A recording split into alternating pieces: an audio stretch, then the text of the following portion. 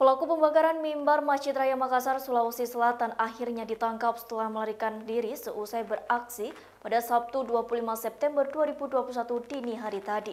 Pelaku ditangkap oleh warga di Jalan Tinumbu, Makassar.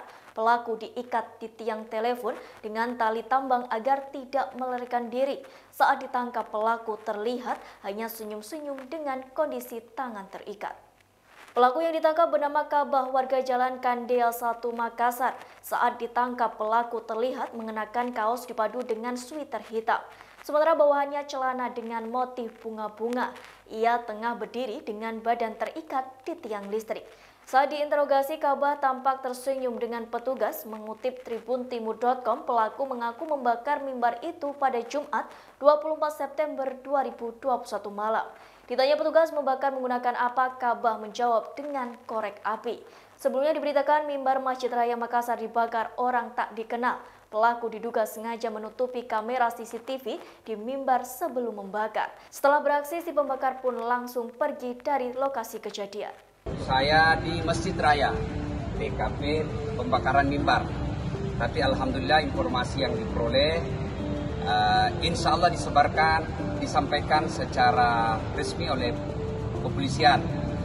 Umat Islam tidak usah khawatir, ini bukan provokasi, bukan sesuatu yang membuat kita harus panik. Makassar tetap aman.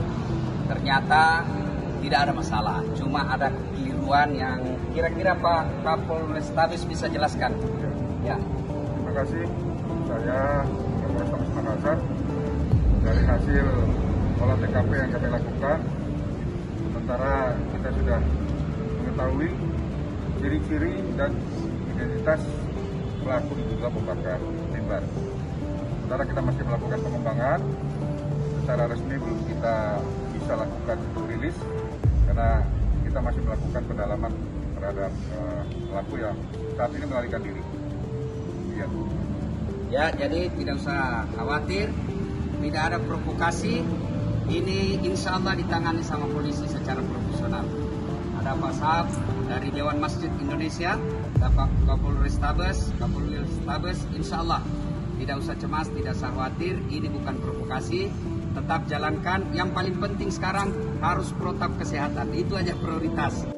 Demikian Hot Topic kali ini, saksikan terus berita lainnya hanya di kanal Youtube Tribunnews. Terima kasih sudah nonton, jangan lupa like, subscribe, dan share ya.